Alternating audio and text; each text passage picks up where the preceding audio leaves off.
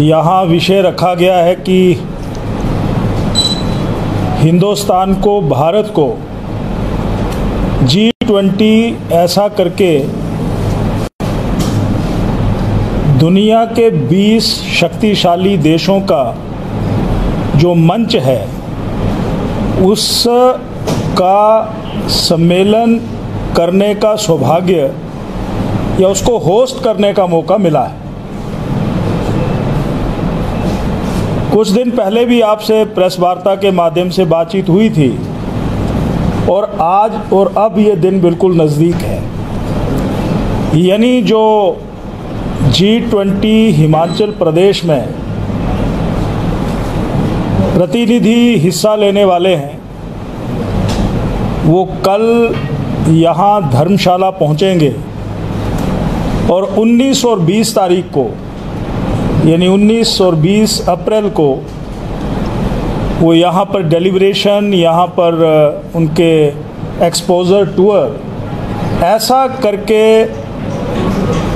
जो हमारा विदेश मंत्रालय है और प्रदेश सरकार और ज़िला प्रशासन के माध्यम से यहाँ पर सारी कार्रवाई होने वाली है।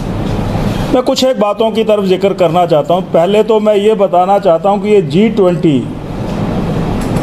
ऐसा लगभग पूरे देश की, पूरे देशों की उत्पाद, सकल घरेलू उत्पाद को परखा जाए तो पचासी प्रतिशत ये देश उत्पाद करते हैं। और अगर इन देशों के निर्यात की बात की जाए तो ये 75 प्रतिशत कवर करते हैं। और पूरी अगर ज़मीन का ज़िक्र किया जाए तो पूरी दुनिया का 60 प्रतिशत जो भूखंड है, ज़मीन है, उसको रिप्रेजेंट करते हैं। इसलिए भारत सरकार को या भारत को इस कॉन्क्लेव करने का सौभाग्य प्राप्त हुआ है। तो मैं तो सबसे पहले धन्यवाद मोदी जी।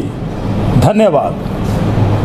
ये सौभाग्य और मौका हिंदुस्तान को मिला है। एक बात इसमें और जोड़ना चाहता हूँ कि ये जो कॉन्क्लेव हो रहा है या यहाँ पर जी ट्वेंटी ऐसे प्रतिनिधि आ रहे हैं, ये किसी एक राज्य का नहीं है, ये कुछ लोगों का नहीं है, ये स्वाभिमान पूरे देश में सभी लोगों में जगे कि पूरी दुनिया यहाँ पर प्रतिनिधियों के रूप में इकट्ठे आ रही है।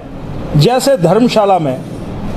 धर्मशाला में ऐसे प्रतिनिधियों का स्वागत होगा, अभिनंदन होगा। यहाँ पर अलग अलग स्थानों पर होर्डिंग्स लगाए गए हैं। यहाँ के व्यंजन उनको परोसे जाएँगे। यहाँ के उस उस सम्मेलन में जब डेलीगेट इकट्ठे होंगे तो डेलीब्रेशंस होंगी। यहाँ पर वो एक्सपोज़र टूर होगा। यहाँ की चाय है, यहाँ का पालमपुर का पालमपुर का चाय बागान है, इत्यादि इत्यादि स्थानों पर वो जाएँगे। सी एस आई आर है। यानी हिंदुस्तान आज कहाँ पर खड़ा हुआ है, ये प्रत्यक्ष उनको अपनी नज़रों से वो देख सकें। ऐसी डेलीब्रेशन साइंस टेक्नोलॉजी यानी विज्ञान और प्रौद्योगिकी ऐसे विषय को लेकर के यहाँ पर डिलीवर की जाएँगी, ये मैं बताना चाहता हूँ। This news is brought you by Rainbow International School Nagrota Bagwan